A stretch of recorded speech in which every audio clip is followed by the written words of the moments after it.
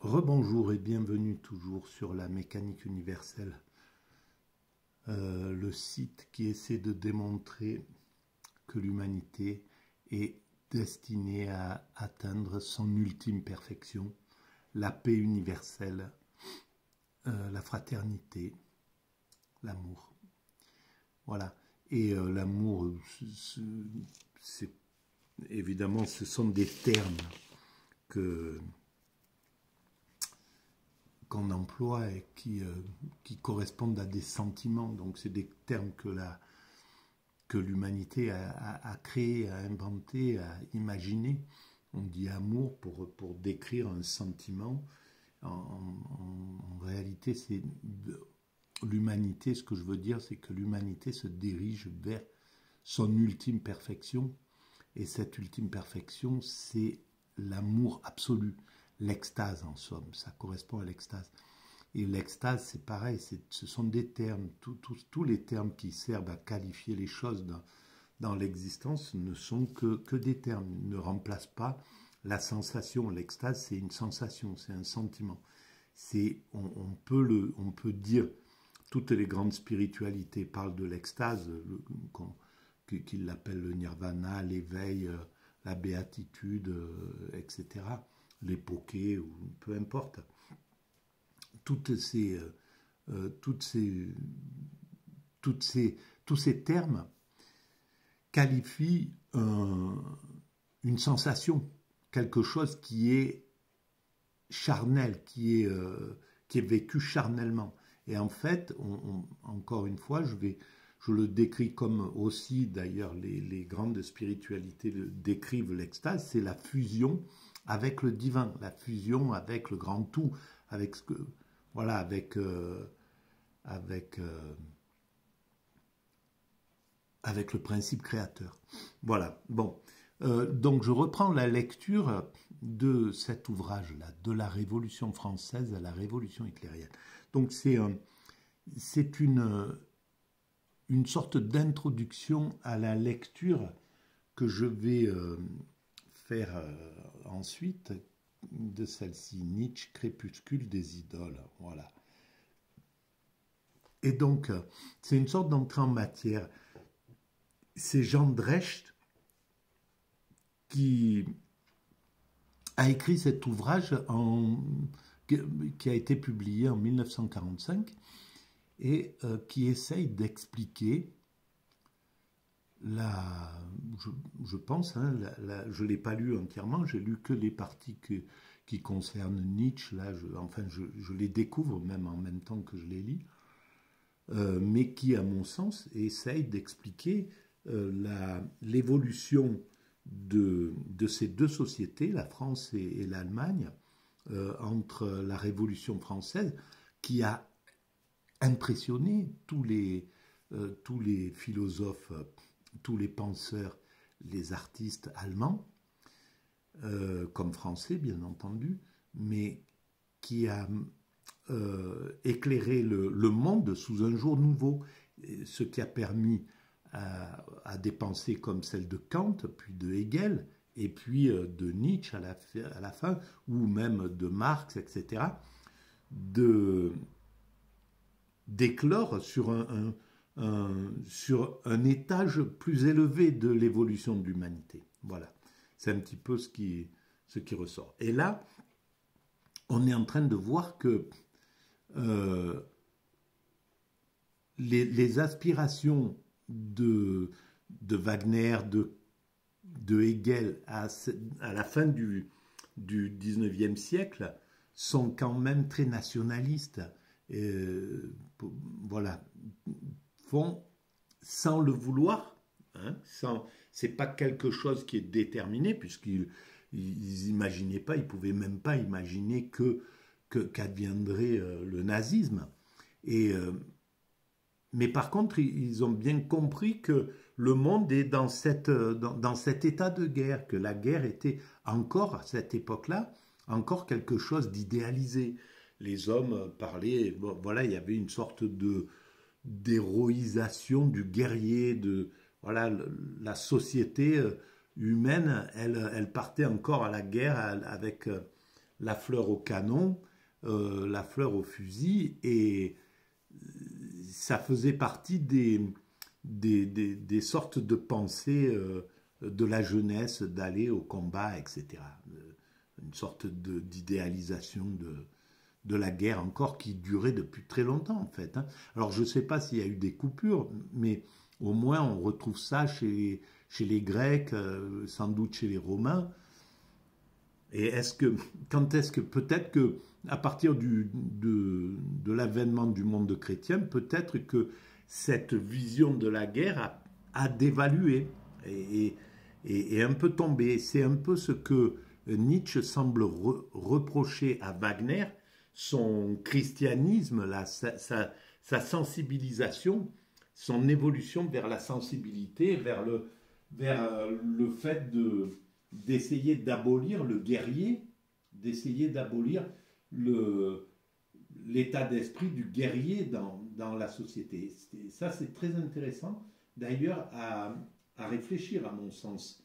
Euh, est-ce que le, la période justement de, l'exaltation chrétienne n'a pas été une période qui a fait infléchir cette, héroïsation du guerrier, de la guerre euh, Ça serait vraiment intéressant à, voir parce que ça mettrait vraiment en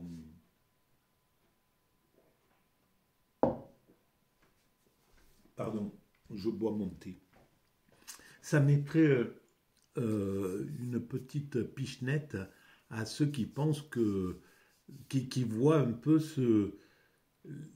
la, période chrétienne, la période spirituelle comme quelque chose qui est, qui violent, etc., qui est, qui cruel, qui euh, je pense qu'il y a une réflexion à faire plus intense là derrière. Je ne défends pas le, christianisme, mais par rapport au monde euh, séculier, qui n'est pas, qui s'intéresse pas, qui, est, voilà, par rapport au roi, aux, empereurs, tous ces, tous ces pouvoirs qui n'appartiennent pas aux religieux, je me, à mon sens, sont beaucoup plus belliqueux, violents, guerriers que les pouvoirs euh, religieux.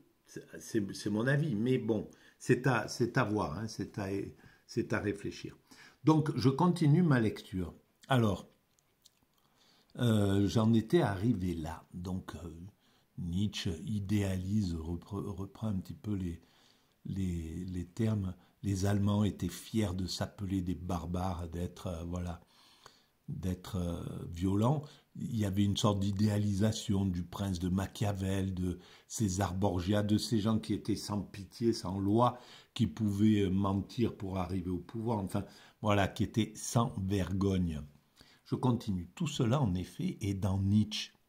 Il a démasqué avec une perspicacité sans pareil les mille faiblesses qui se cachent sous nos petites vertus et nos hypocrisies il a condamné le renom. Alors oui, bien sûr que toute cette perversion est là, tout ce sentiment est là, mais est-ce qu'on doit dire comme le monde se fait actuellement, euh, ben, c'est comme ça, et donc euh, exalter le, monde tel qu'il est, le monde avec ses perversions, avec, euh, ses pulsions, ses tendances, etc. Euh, le, montrer cela comme, comme, comme une sorte de, pas d'idéal, mais voilà le monde tel qu'il est, plutôt que de mettre, comme le, les spiritualités font, une sorte de perfection à l'horizon, une perfection qui est l'inverse du Dieu euh, de, des dieux polythéistes qui étaient guerriers, qui étaient voilà à l'image des hommes, effectivement, alors, est-ce qu'il ne vaut pas mieux mettre des idéaux vraiment importants euh, à l'horizon pour que les hommes cherchent à, devenir comme cela, donc améliorent leur, euh, leur nature, ou alors présenter le monde tel qu'il est? C'est, ce qui se passe avec, euh, depuis que nous sommes dans ces 40 années-là de néolibéralisme on montre, on, met plus des idéaux au fond. Avant le, néolibéralisme, à l'horizon, il y avait Sœur Emmanuel, l'abbé Pierre, Sœur Teresa, voilà des, des, icônes comme ça. Quand on interrogeait le, peuple, on lui demandait euh, les, hommes qu'il préférait et on voyait apparaître euh, l'abbé Pierre, euh, Sœur Emmanuel, qui faisaient du bien à l'humanité, qui étaient là pour, qui, qui étaient en mission, quoi, qui étaient des, qui cherchaient un peu proche de la sainteté. Et maintenant, après, on s'est retrouvé avec des idanes, des etc., etc. Euh, et, pratiquement, les, les icônes se sont dégradées. On se retrouve avec des milliardaires, avec des, même si c'est encore les meilleurs états d'esprit qui sont choisis, hein, qui ont, choisi un, c'est d'ailleurs magnifique quand euh, c'est Zidane ou quand c'est euh, euh Noah qui sont choisis ou, ou comment il s'appelle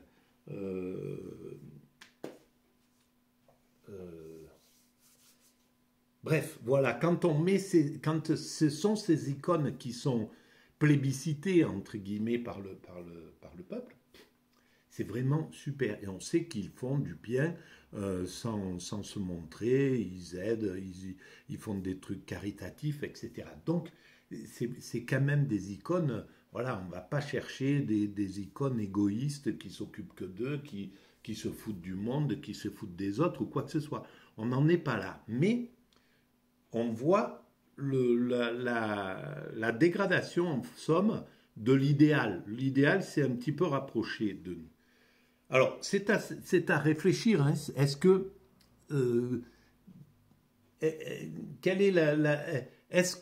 Le, une vision, quelque chose qui met dans son horizon, qui place à son horizon euh, des, des une sorte de perfection qui attire, qui pousse à les, êtres humains à essayer de, ressembler le mieux possible à, cette euh, vision un peu de sainteté, ou alors montrer le monde tel qu'il est. C'est un débat qui peut être ouvert. Voilà, je continue. Euh, donc, il, a montré, tout, Nietzsche donc a démasqué avec une perspicacité sans pareil les mille faiblesses qui se cachent sous nos petites vertus et nos hypocrisies. Il a condamné le renoncement, l'humilité chrétienne. Il a voulu une élite pour renouveler le monde et constamment placer le surhomme devant nos regards. Alors, c'est ce que je démontre sur la mécanique universelle. moins plus on écrase l'humilité et on survolte l'inverse, c'est-à-dire euh, le narcissisme, et plus on injecte de, violence dans, dans, la société. C'est un petit peu comme si chez nous, nous étions des primates naturels. C'est comme si dans une troupe de primates naturels, il y avait à la place de un dominant et de deux ou trois prétendants, on se retrouve avec 50 euh, dominants et, et 500 prétendants c'est un chaos indescriptible qui vient. Voilà, plus on fait de dominants, plus on, propose aux êtres humains de devenir ce que Nietzsche préconise, euh, donc euh, l'inverse de l'humilité chrétienne, une élite, une élite, un surhomme devant nos regards, plus il a proposé ce genre de choses, et plus ça, a donné, ben, c'est ce qui a donné en somme ce pouvoir nazi. En, fait, tout le monde se, prenait, tous ceux qui ont adhéré à cette idéologie se prenaient pour des surhommes, voulaient être des surhommes. Et donc, ça a injecté dans la société humaine, à ce moment-là, dans l'humanité, un maximum de, de narcissisme et d'agressivité, de violence, de désir de domination, en somme. Voilà pourquoi aujourd'hui cette période dans laquelle l'Occident vit, qui est une période euh, oligarchique, et l'oligarchie amène ces mêmes idées, ces mêmes valeurs, les dominants, euh, la force, le musculaire, voilà, au détriment de, l'humilité, au détriment de, la bonté, du partage, etc. Et donc, plus on fait de dominants, plus on dit à chacun, il faut que, allez-y, battez-vous, euh, soyez des, des, winners, euh, euh, voilà, soyez des, super vendeurs, devenir riche rapidement, etc., etc. Donc, plus on fabrique de ces narcissiques, et plus le monde devient violent. C'est légitime, c'est quelque chose de normal. Donc il va falloir sortir de ce mécanisme-là euh, à un certain moment, parce que on, le voit, et, le paroxysme de ce narcissisme, c'est la guerre qui, a fini par se déclarer euh, sur l'Europe.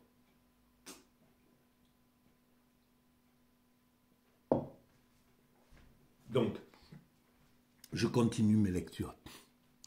Euh, mais sous quel aspect l'énergie volontaire doit-elle se manifester? Domination sur les autres ou sur soi-même? Quelle forme le surhomme doit-il revêtir? La dure barbarie ou la bonté prête chaque jour à se répandre? Les réponses à ces questions, à bien d'autres, du même ordre, il faut les chercher dans l'œuvre entière de Nietzsche. Et c'est là où c'est intéressant, parce que Nietzsche, mine de rien, il est peut-être, c'est peut-être sur soi-même, la domination sur soi-même qu'il voit. Euh, la, bonté prête chaque jour à se répandre. Euh, voilà, c'est peut-être ça. Et c'est là où, si c'est ça, je me suis trompé, j'ai lu trop vite, en somme, les choses. Maintenant, si la façon dont il a écrit permet de, mal interpréter son œuvre et de penser que euh, c'est le surhomme euh, de, la barbarie ou du euh, qui n'a pas de qui cherche la domination sur les autres, alors ça c'est ça se voilà toute la question est là d'ailleurs. Bon, je, m'exalte un peu trop, je suis désolé. Donc, on y trouvera dans l'œuvre de Nietzsche toutes les contradictions. Et c'est ce qui en fait le stimulant incomparable de la pensée. Voilà, c'est ça qui est intéressant. Chacun va y trouver son truc, malheureusement, et c'est le problème de ne pas être clair d'être comme ça. Et je pense que ça correspondait à son état d'esprit, à Nietzsche, c'est-à-dire euh, exalté guerrier, et puis exalté artiste, et puis voilà. Et selon son état d'esprit, son écriture était différente. À mon sens, c'est peut-être ça aussi qui est, là-dedans. Et ça, ça pose un problème. C'est un petit peu comme les livres sacrés sont magnifiques, sont superbes quand on, pour quelqu'un qui va les lire de façon complètement euh, amoureuse, avec euh, l'amour du prochain, le côté universaliste, le côté... Euh, le, la, bonté, quoi, hein, et, qu'il va prendre les métaphores, justement, voilà, de, de, de la... Ben, c'est la, la, même chose, par exemple, dans l'islam, avec le djihad extérieur ou le djihad intérieur. On peut prendre les deux. Et c'est là où c'est le problème des ambiguïtés. tous les livres sacrés ont ce problème-là. Que la Bible chrétienne, la, Torah, le, ou le Talmud, le, Coran, euh, la Bhagavad Gita et peut-être même les livres sacrés de l'hindouisme, c'est euh, du taoïsme, etc. Donc il y a quand même quelque chose qui peut prêter à confusion. Alors qu'est-ce qu'il faudrait faire avec tout ça? Est-ce qu'il faudrait écarter ces choses-là, les, éclairer correctement, montrer que ça correspond à un moment qui, qui, qui, qui est en passe d'être dépassé, la détestation de l'autre, le fait de euh, l'intransigeance vis-à-vis de celui qui ne croit pas la même chose que soi, etc. Tout ça, est-ce qu'on peut expliquer à la population humaine à l'humanité que tout ça c'est obsolète et qu'il faut garder que le, que le côté euh, universel, parce que maintenant, on est arrivé au, point universel. Évidemment, au 19e siècle, c'était autre chose.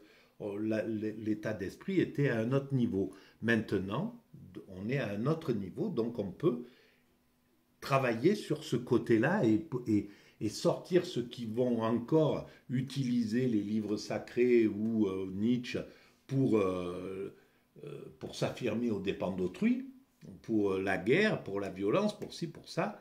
Voilà. Est-ce qu'on peut travailler là-dessus? C'est une question que je pose. Donc, donc on y trouvera effectivement toutes les contradictions, etc. Il est ondoyant et divers comme notre Montaigne qui l'aimait, troublant comme notre Pascal qui le fascinait et dont il a parlé en des termes qui caractérisent étonnamment sa propre attitude. C'est une contradiction continue dans les profondeurs les plus intimes, puis une béatitude à se reposer dans des régions au-dessus de nous et dans le mépris de tout ce qui s'appelle moi. C'est ça qui est incroyable. Et je pense qu'il a fini sa vie dans l'extase. Il a dit à personne, il en parlait, il parlait plus, mais je pense qu'il est tombé dans cet état, j'espère pour lui, dans cet état d'extase de, finale. C'est ça qui est vraiment incroyable. C'est dommage qu'il n'ait pas pu écrire dans cette dernière partie de sa vie euh,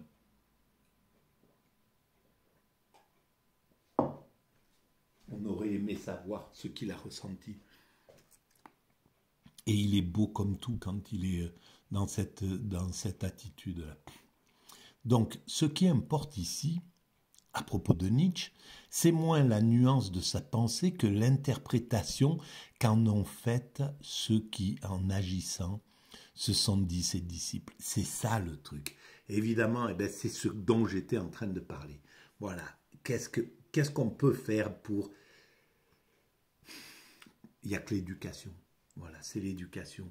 L'éducation mondiale. Nous sommes maintenant à un point où nous pouvons travailler mondialement. On va, il va falloir, il faut aider cette humanité à monter sur le plan national. Au lieu d'aller mettre 1000, 1000 milliards de dollars à la guerre, chose qui est en train de se faire, et peut-être 2000, 3000 qui vont être gaspillés là-dedans, dans une guerre comme ça. On pourrait très bien, avec 1000 milliards, on met une école, un truc de partout sur la planète, dans chaque village, avec un prof, avec euh, un dispensaire, avec un, euh, pas un dispensaire, mais voilà, un hôpital pas trop loin pour, pour soigner chaque être humain. Ah, on, peut arriver à faire un salaire universel pour que personne ne soit l'esclave de quelqu'un d'autre on peut arriver à, rendre ce monde magnifique, ce qu'il a vocation d'être et ce qu'il mérite d'être, puisque nous, travaillons depuis, depuis des, centaines de milliers d'années à faire évoluer cette humanité de façon altruiste et tout. Donc maintenant, l'humanité a peut-être enfin droit à un peu de repos et de, de, de fraternité, et de bonté et d'amour, etc. Voilà, je pense que c'est des choses sur lesquelles il faut travailler. Donc je continue. Voilà, ce qui importe ici à propos de Nietzsche, c'est moins la nuance de sa pensée que l'interprétation qu'en ont faite ceux qui, en agissant, se sont dit ses disciples. Je suis content d'être tombé sur ce livre. Ça me permet vraiment de comprendre encore mieux euh, Nietzsche. Voilà pourquoi, et c'est là où la tolérance des êtres humains de, de, de, cet homme-là, Jean Dresch, la tolérance qu'il a vis-à-vis d'autrui, c'est extraordinaire. Il écrit 145.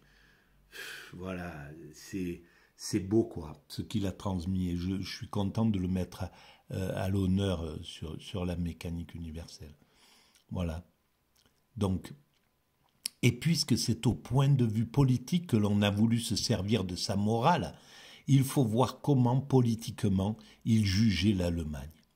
Il sera alors permis d'affirmer que son œuvre est un véritable réquisitoire de la création bismarckienne et d'avance une condamnation de l'Allemagne nationale socialiste. Voilà, on peut même arrêter là. Bon, je vais lire un tout petit peu en dessous pour. Euh, En cela, il se contredit rarement. Il écrivait le 7 novembre 1870 Entre nous, soit dit, je considère la Prusse comme une puissance au plus haut degré dangereuse pour la civilisation. En 1888, donc 18 ans plus tard, il écrivait que depuis l'avènement de l'Empire, les Allemands se comptent plus, ne comptent plus dans l'histoire de la civilisation européenne. Et il ajoutait Je ne crois qu'à la culture française. Et c'est pas loin. Et c'est pas loin. Je vais arrêter là. Et c'est pas loin. C'est ça qui est vraiment, qui est, qui est, beau. En somme, pourquoi il croyait qu'à la culture française? Parce qu'elle ne faisait pas l'éloge de la force, elle faisait l'éloge de la, de la subtilité, de la sensibilité, de l'art des artistes. Les artistes, tous les artistes venaient en France à cette époque-là. C'est là où sont arrivés justement les Picasso, les Modigliani. La France était ouverte complètement sur le monde. Les, gens venaient et étaient accueillis. Il y avait quelque chose de, très ouvert dans, ce pays. Comment ce pays-là est parti dans, ce racisme-là? Euh, la décolonisation et moi je, pense que voilà, c'est à réfléchir comment la France a acquis cette mentalité de colon depuis 50 euh, ans, plus 70 ans. Comment ça se fait? Voilà, c'est, je pose la question. C'est, donc une, mentalité euh, euh, qui repousse l'autre, en somme. C'est ça le problème. Et peut-être pas depuis, euh, depuis 40 ans au moins, depuis 40 ans. Comment ça se fait? Depuis l'avènement du, néolibéralisme. Comment se fait-il que nous sommes rentrés dans ce système avec une mentalité de colon, c'est-à-dire une mentalité narcissique euh, aussi intense?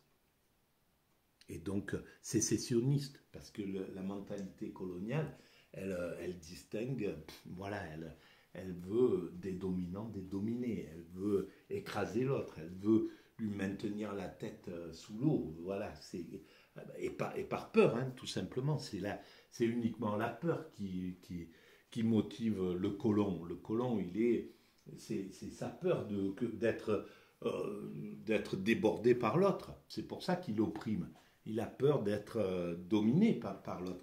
Et donc il ne il, peut pas arriver à faire hisser dans son esprit l'idée du partage, l'idée du partage du pouvoir, l'idée du partage des privilèges, l'idée de, d'offrir à, à l'autre. Et alors, en faisant ça, il agresse l'autre et donc l'autre lui paraît de plus en plus dangereux, plus il, est, plus il agresse l'autre et plus il lui paraît dangereux, etc. Donc en réalité, c'est comme ça que, que, que, le, que le jeu se passe.